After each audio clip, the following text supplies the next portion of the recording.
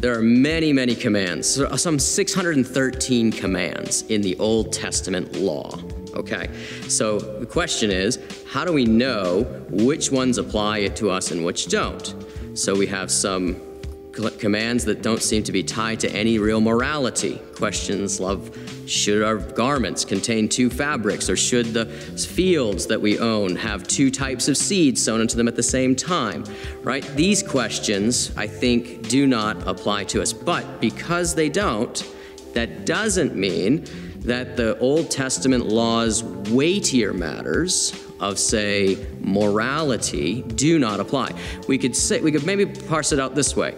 The Old Testament laws that are tied exclusively to Israel around 1200 BC uh, show, do not show God's permanent righteousness.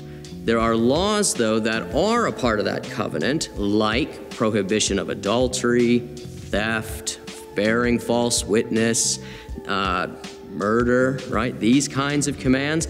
These commands are also prohibited before the Old Testament law, like due to creation realities, and they're also mentioned after the Old Testament law in places like the New Testament. What we're seeing is God's heartbeat for what his righteousness is all about when we see those commands uh, repeated over and over and over again. Whereas, coming back now to these other examples of the gotcha, like, well, what about two types of seed or two types of fabric? Well, these are only mentioned twice uh, and only once or uh, under the old covenant.